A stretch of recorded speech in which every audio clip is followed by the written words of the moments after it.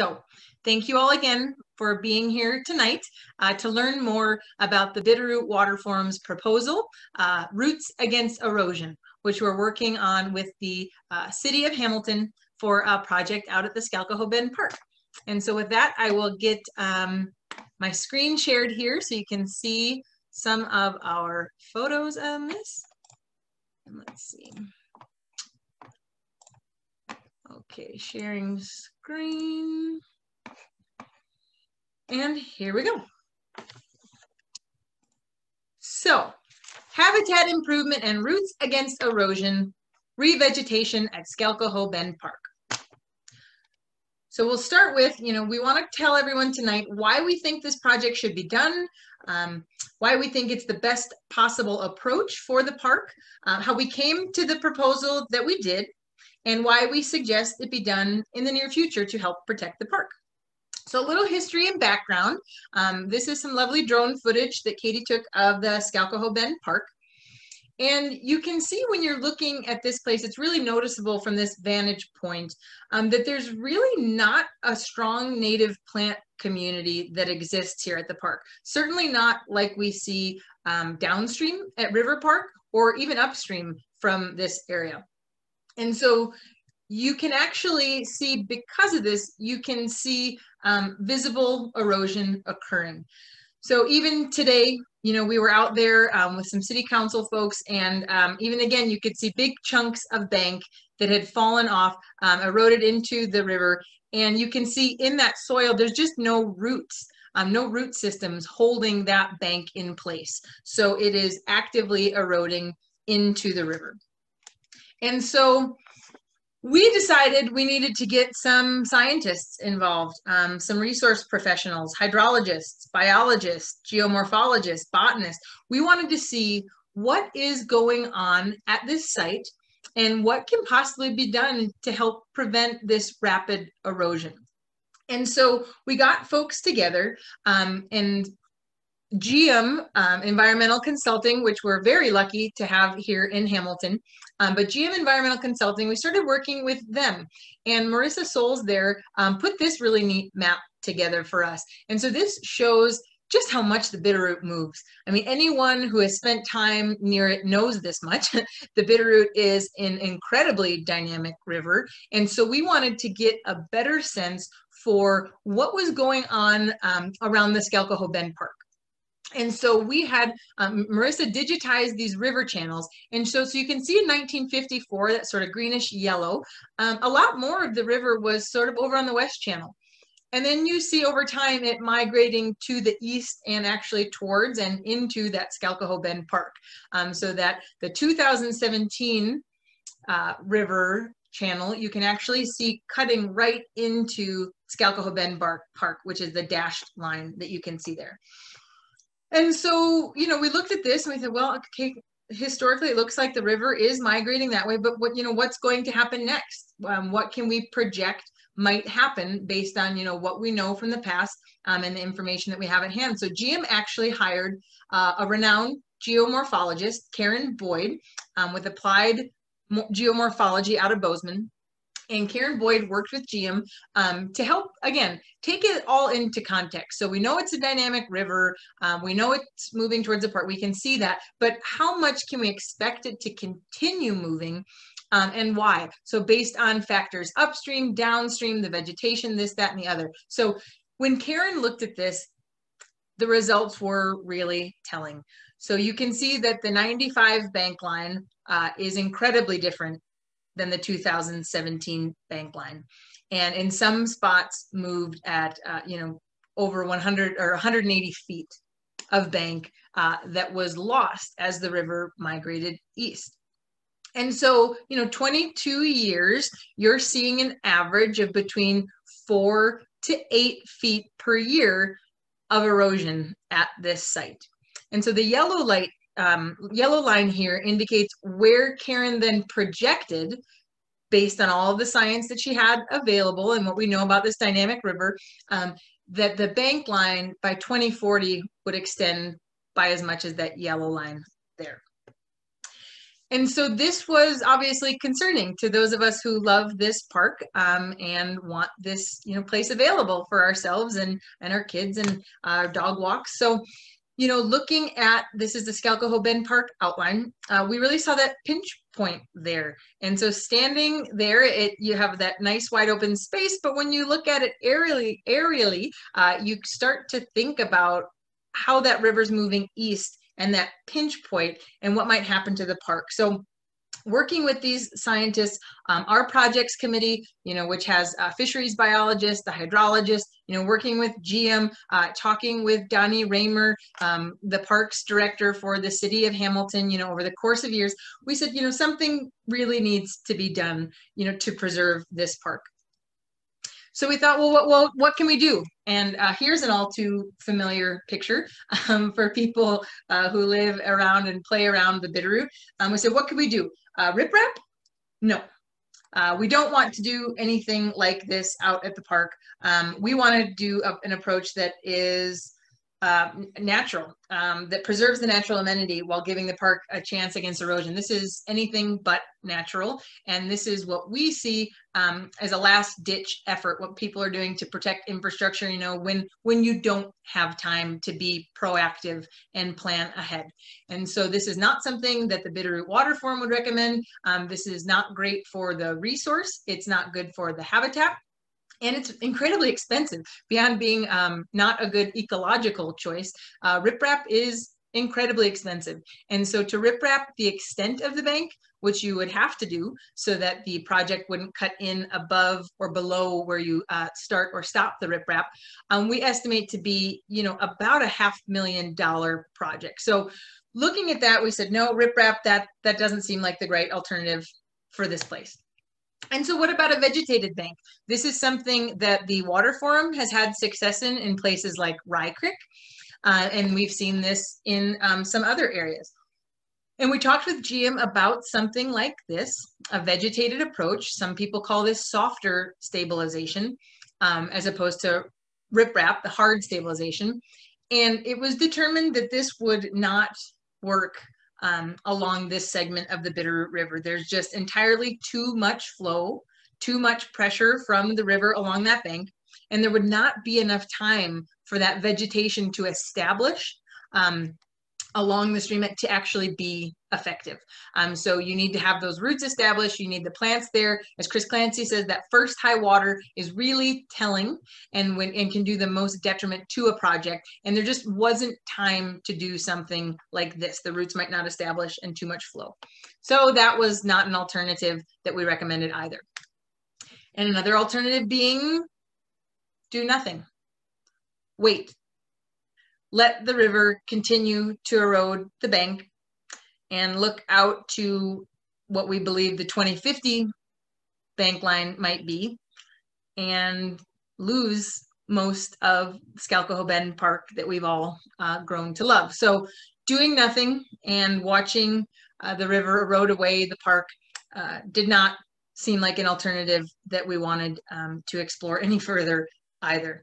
And so what did we want to do? We wanted to find a happy medium. We wanted to protect the park, protect people's ability to access and enjoy that amenity, um, provide some habitat, and restore the area to a more natural state with healthy riparian plants that allow for a more natural process. Um, erosion over time, letting that river move, not stopping it dead in its tracks, um, but finding something that kind of fits the bill for multiple objectives. And so what you see here um, is a beautiful artist rendering of the restoration design for Skalkaho Bend Park.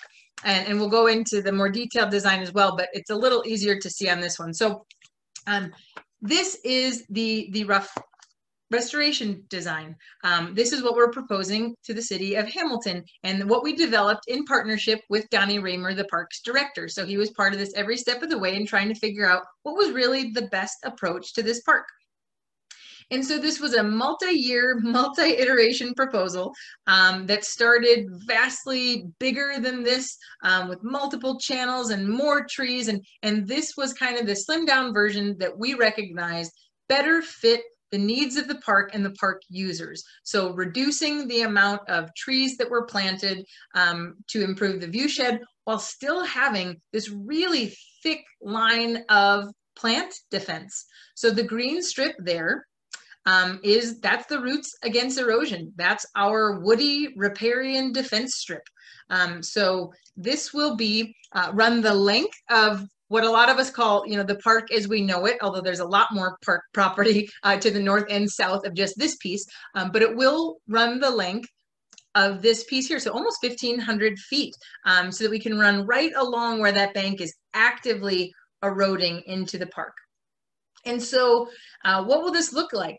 Well, it's going to be sort of an excavated depression where we plant mostly willows and some cottonwoods, but 97% willows, which again, like I said, is to really get those roots against erosion rather than um, having plants that are too tall and may impair the viewshed. So what you see on the left is an example of an existing swale at Skalkaho Bend Park. And so you can see in that depression, there are a couple of plant species that you don't see in other areas of the park. So we want to encourage that. We want to dig this depression um, and then plant it really densely planted um, with willows, like I said, 97%, and some cottonwoods and aspens um, to provide that habitat. Um, but really, it's about those root systems. So digging into that swale, and then we'll have a really robust vegetated area um, that looks incredibly natural, lush, and green, is home to birds and wildlife, but more importantly, has those roots underground, which are helping to um, protect Skalkaho Bend Park and provide strength against future erosion. So there will be logs and brush embedded into the ground, which will help water actually seep into the ground and infiltrate rather than running just through that swale. We will have a fence around this planting area to keep those plants protected um, from wildlife pressure. So we do see obviously a lot of deer and moose running around this valley, um, and we want to keep these plants safe when we put them in the ground. So we will have a fence up until those plants are able to fend for themselves and we can take the fence down and they can withstand uh, getting munched on a little bit um, by some wildlife. There will, of course, be gaps in that fencing that will allow for wildlife migration and footpaths to allow people to kind of cut through uh, that swale. So it won't be contiguous. There will be breaks um, for people and wildlife to get through. And so someday, this is um, a different project area, obviously, um, but someday we'll have something like this, a really thick, lush green area um, that's fenced in and protected um, that will grow really mostly these willow shrubs that shouldn't be more than 10 feet tall. Um, and these are some pictures provided by Geum to again show it's going to look a little nasty when we get started, just to be frank. Um, when you're excavating a trench and planting, uh, even as a lot of us have seen in our gardens, it doesn't look great when it gets started.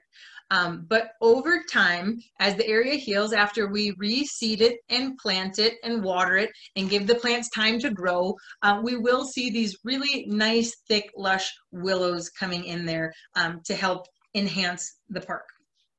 And so there will still be paths on both sides. So you can see here's the design um, a little bit closer up here. So all of the green kind of represents the planting area. And there will be breaks in the fencing. So a break here, a break here. And we just, in talking with some uh, folks who live around the area and city council, we want to add another another place to cross the swale right about in here. And so um, this will be a dense line of vegetation through the park um, that will hopefully help prevent the erosion as the river meets this planting. And one thing that some of you who are familiar with the park right now might notice is the path as it exists. So we see the parking lot up here and the path as it exists comes down in this way. Here's um, the ADA trail here which again, we're really trying not to impede those views. So keeping those low shrubs, those sort of up uh, to 10 foot at maturity height willows um, with some cottonwoods planted, but you know, sparsely. And we'll be lucky if we see them grow up um, in our lifetimes to any point where they'd obstruct view. But so you come down this ADA trail and you walk over this bridge. And as it exists now, you can walk directly to the river. And what we've noticed and what the parks director noticed is the erosion is incredibly bad um, at this site right here and actually was exacerbated this year, we think possibly as the park saw more use. And so when Geum and Marissa from Geum looked at this site again this year, we saw almost 10 feet of bank erosion at this specific site. And so proposing to to move the path so that we're not directing foot traffic here and continuing to really compact this trail and increase erosion but have the path diverge so you can go south and access uh, the river this way. And this is, as we've all seen, a lot of people go this way because this is actually a nice little kind of swimming, fishing hole. This is where a lot of people actually access and get into the river directly. So this will just direct people that way. And as I said, we'll try and add another path right in this way so people can cut through this way or just, you know, do the loop as it exists on the current kind of connector trail um, around the park there. So the swale will exist between the current footpath, the current trail that the city's been maintaining. So you can still do that nice loop um, around the vegetation and around the plantings. So again, this is what you know the design looks like. Um, this is what our swale, kind of the footprint that the swale will take. Um, it's a tremendous boon for the park in terms of developing riparian vegetation and creating these really important root systems. And for all of that, with all that planting, the entire project footprint is only one and a half acres. So it's only about 2% of the 70 acre park um, will actually be modified um, by this project that can ultimately help, you know, keep this park here um, for us and for future generations. So um, that is the design as it stands. That is our proposal.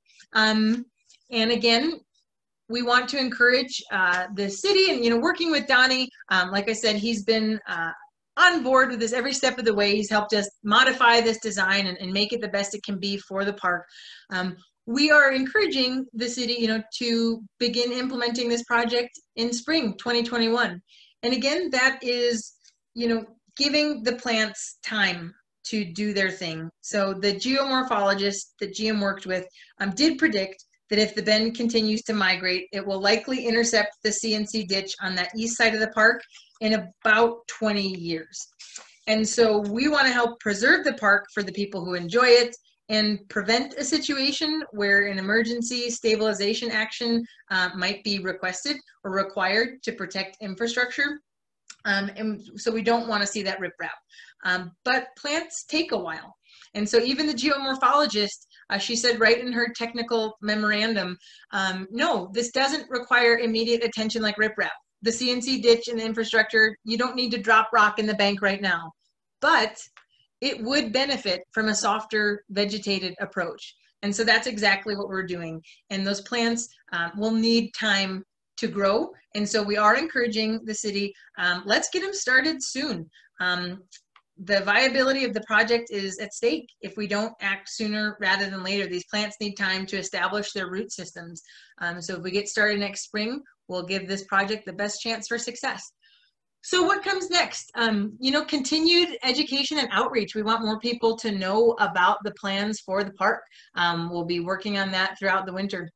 We've been doing E&O, um, you know, leading up to this project. We've had articles in the Ravalli Republic, um, announcements on KLYQ radio, on our Facebook, newsletter, email, uh, City of Hamilton Council of the Whole meeting we presented twice and we'll present again tomorrow night.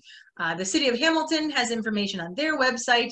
We have tonight's Zoom presentation, of course, and we'll continue that through the winter and beyond. Education is a big part of what the Bitterroot Water Forum does, and we want more people to know about why this project um, is being proposed and why we think it's important. So we will have uh, interpretive signage at the park, talk to some councilors about that again today, um, and really making sure that people can interact with these signs and understand why this project is being done, why it's important. Uh, we can't wait someday. Hopefully, we'll get to have field trips out there um, and have kids, you know, help plant, um, help water the plants, help, you know, see how tall they're getting, um, and really interact with um, a project like this on the main stem of the Bitterroot River. So um, what's after that? Education, outreach, more outreach, education. Uh, the city will need to vote on this proposal uh, and will then develop an MOU with the Water Forum about how we get this work done. Um, in the meantime, you know, citizens collecting brush and willows to actually be added right into this project. Um, we would hope to break ground in March and April, where we will actually dig the swale and get the plants in the ground. And then it's all about adaptive management in partnership with the city. So like any project the Water Forum does, it's not put the plants in the ground and walk away. It's put the plants in the ground and then figure out how they will best thrive. So that's uh, monitoring and maintenance. So watering, making sure that the plants are thriving, um, fixing fence, making changes as needed uh, to ensure the survival rate of the plants and that the project is doing what it was intended. So again, talked with some councilors today, you know, about what happens next and, and what if the river does meet the fence. Well, that's, we're continuing to stay in dialogue and we will, the water forum will be there to support what the next steps are. Try to find more funding um, for how we can do what needs to be done to help protect the project and protect the park. So more education for kids and adults, of course, and for as long as we can imagine, continued enjoyment of our park. And so that's going to take a lot of people banding together, um, as it often does with water forum projects. And we'll be looking for a lot of volunteers uh, to come out and help us get this um, park planted. Uh, we will be putting lots of plants in the ground, those little willow shoots, which some of you have helped us collect and plant before, um, and installing those throughout the area. So we'll need lots of people power. And that's why another reason we love this um, proposal. The opportunity for people to be involved, um, to be part of the project, from you know whether it's implementation you know putting things in the ground or letting us know what they're seeing on site um, what they think is working what might not be um, to have a community project like this where people can um, let us know what they think about what they're seeing on the ground. Are there different birds accessing the area you know all that. So a really fun opportunity for people to get involved.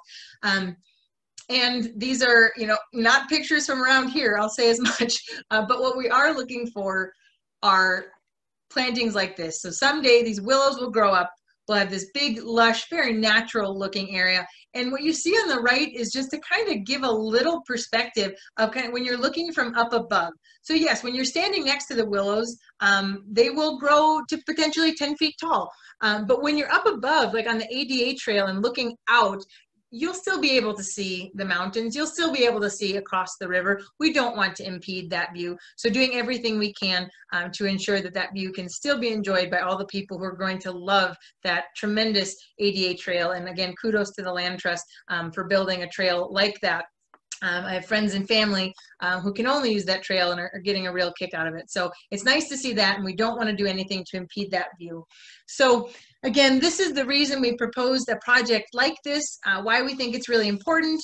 And one of the last things I'll say is, you know, in talking with some folks about this, there's varying opinions, of course, like with anything, um, about what should or shouldn't be done here. Some people who say, you know, put the rock in the bank, protect the whole park. Some people say, let the river just take it. That's what the river wants to do. And again, we really wanted to find this happy medium. So someone had said once, you know, the city bought a park near the river and they just need to accept that it will change. And while to a certain extent, the water forum agrees, we don't think people should be actively trying to just manage the river. Um, we aren't in the business of stopping the river, uh, but we do want to give the park the best chance possible. Because it's lacking the natural vegetation that you see at so many other places along the river, we want to restore it to that to give the park a chance. And I heard someone else make a great analogy, um, likening the purchase of the park to buying a house. So you you make the purchase with enthusiasm, and only after do you maybe realize, you know, with ownership, um, what comes with that and how to best care for the purchase and how complex that can be. And so I'm thinking it's, you know, you go through the inspection, you buy the house, but you find a maybe a crack in the foundation and you don't just let it be. You find the smartest way to protect your investment care for the space um, so that you and your family can enjoy it for years to come. So, you know, that's why we've submitted this proposal. Um, that's why we're suggesting that the project be done soon. We really care about this place. I love this park. uh, and we want to help the city protect it as best we can. Um, we get to enjoy it now, and we want future generations to enjoy it like we are, um, and that means acting soon. So that's how we came to this conclusion. Um, that's how we submitted this proposal. Um, and with that, we will get into our Q&A. So, oh, there we go. Uh, so thanks everyone for sticking around. Looks like a handful more people joined us, which is great. I'm so happy to have you tonight. And let's see, it looks like people have some questions here. So I'm going to start getting through the Q&A. And again, if you have to jump off at any point, um, this will be recorded. And we also have the frequently asked questions about some of the questions we have received um, prior. We have those posted on our website. So um, this is great. So we have from Delcy here. Okay, this is great. Thank you. Thank you, Delcy. Um, what are your plans to engage park users in the future planning process, including identifying trails, signage, community outreach, weed control, education? Um, how many active teachers and educators are involved in planning? Great question. So this project, like so many things this year, uh, was adapted in a way. Um, the education and outreach, uh, we didn't get to do the walking tours of the park like we hoped we would. Um, not being able to bring people together like we usually do has been a challenge for us. Um, so continued engagement, trying to get people involved in the process. Um, spoke with someone who helped, um, I think Delcy, you'll know him, uh, helped get the, um, the Billings um, Audubon Center put together there. So talking with people who've been engaged in projects like that about best ways to get community involvement. Um, let's see, future planning process trails. So that'll be uh, work with the city, of course. And so the city is responsible for maintaining those trails around the park as they are now. And of course, as the river moves, um, that's why part of the reason they moved that trail back as they have um, as that continues to move, uh, we'll support the city in modifying the trail system kind of as needed. And talked to the council today about that interpretive signage, um, more community outreach. So yeah, definitely keeping things going out on our email. We have a monthly column now in the Ravalli Republic. Um, so we'll be revisiting this there. Um, and weed control an ongoing battle, as we all know, um, and we will get volunteers engaged with that. We have a watershed restoration team that helps us with a lot of our plantings um, and will help get out there um, to yeah, do all things adaptive management, um, including looking at weeds, because I know that was a problem and it was in much different shape before the land trust and the city started managing it and got rid of a lot of the weeds that did exist there. Um, how many teachers and educators involved in planning. Um, so we were hoping again to get teachers and uh, classrooms actually out planting and maybe we still will. We're certainly hoping that we, our dream was to have kids, you know, putting plants in the ground and kind of seeing them as the plants got as tall as they were um, and through their lifetime. So we're continuing to explore ways um, that we can get students involved because we think education, um, excuse me, opportunities are tremendous here. Um, and so question it all again, so um, why do this project at all? And so again, like we said, um, some people at varying degrees of interest of let the river do its thing or stop it in its tracks. And so we thought this was a nice happy medium to get that park the plants that will help uh, reduce erosion there um, not stopping the river from moving, allowing the river to continue its natural channel migration. Um, but again, just giving that park a fighting chance. Um, we've seen a lot of time in the Bitterroot uh, where there isn't time or forethought for sort of proactive measures um, to uh, restore an area, to put in vegetation that might help slow the flow. Um, and then we see people get reactionary and do things that are damaging to the river, stream, uh, banks, the habitat. We have an opportunity here to be proactive and to hopefully prevent um, some reactionary measure down the line um, as the river continues to erode away at the park and uh, infrastructure is potentially threatened. Um, okay, so let's see, uh, scrolling here. Once the trees and plants become established, will the wildlife fence be removed? Yes, it will be. And so the fence is temporary. Um, and uh, let's see if I have, I should have unmuted her before. We have uh, Andrea Price, our restoration coordinator, is here. Um, and so we'll see if we can get her unmuted. Um, the fence will be taken down three to five years. Sometimes we've seen it a little bit longer at projects, depending on how well the plants are doing and thriving. Um, but once those plants can withstand some browse pressure from deer and elk, uh, we will take that fence down and then it'll look like a really natural uh, swath of willows there. Okay.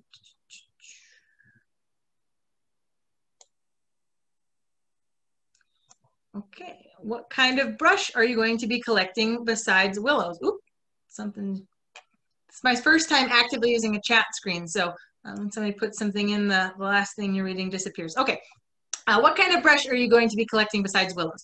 Uh, so for the woody debris, we have something on our website. I'm sorry I can't be more specific. We're looking for um, bigger logs and we'll be collecting Christmas trees um, from people over the winter. Uh, we need larger pieces of woody debris to help bury into the ground there. Um, and that's important for a couple of reasons. Um, one is there will be water in this channel to help, um, in the swale, to help make it not an active channel. I said channel. Um, we have the wood there um, to prevent water from flowing there. So as the plants are being watered, we don't want uh, ever rushing water. So the woody debris will be placed throughout the swale to actually stop water from moving and let it infiltrate into the ground. So we're replacing that throughout the length of the swale and then some at the lower reach of the swale as well. Again, just to keep any water that might pool. Um, if there's big rain events too during this while we're actively watering, we want to make sure that water infiltrates. So we'll be burying that woody debris in the ground throughout the swale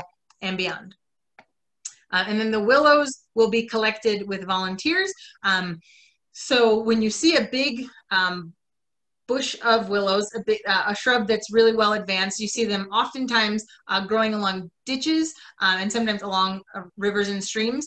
Uh, you can cut a lot of those back. And so when we say we're planting a lot of willows, we mean a lot of those cuttings. So we'll get volunteers out um, with us to cut those single shoots that we'll be planting into the banks. Um, so that will be the main type of brush that we're collecting with volunteers. Are you still planning to plant aspens, service berries, and dogwood? So there will be other trees planted. Like I mentioned, willows are the majority of what will be planted here.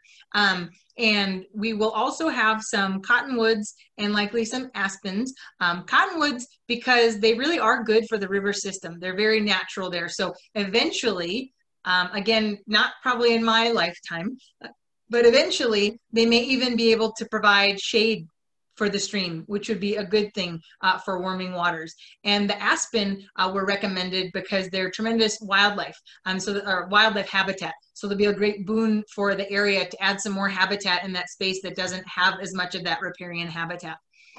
Um, weed management will be more difficult. Um, true, we're up to the task.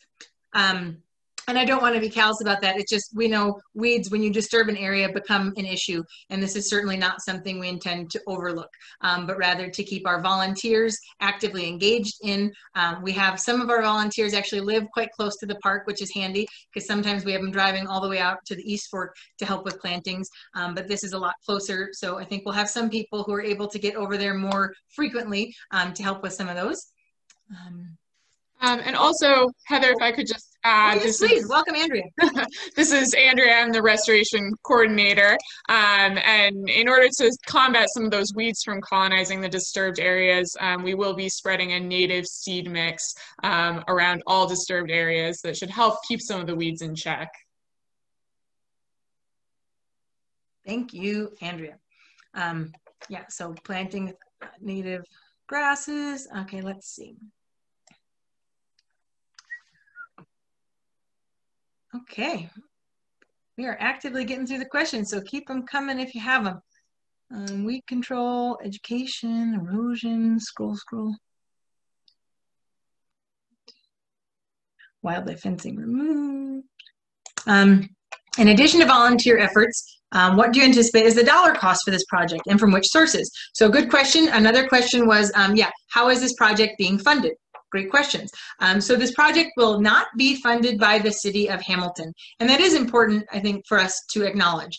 Um, the Water Forum received a grant from the Montana Department of Environmental Quality uh, to assist with this grant.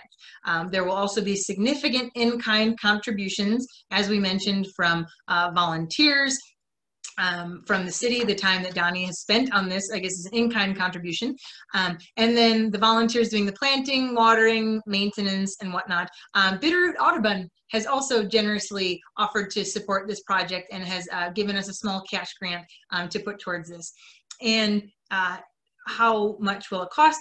So what we're looking at now, and I have my little spreadsheet around here somewhere. Andrea might be quicker to the, um, we're looking at um, for the actual hard costs of planting and swale, um, we're looking at just over a $100,000. And so that is for the materials, excavator, um, that's our oversight work with Geum. Um, and actually, these numbers are too small. Um, this is part one of my spreadsheet. So it will be over a $100,000 um, when we take into account um, time spent by uh, Geum oversight with the water forum, um, with our contractor costs. Yeah, so our, our grant, thankfully, from DEQ, which also funds education and outreach, which is really neat that the state helps put money towards that. So our interpretive signage, um, education and outreach, time spent, things like this. Um, our grant from DEQ was just over $120,000. Um, and so that will be just invested right back into the park.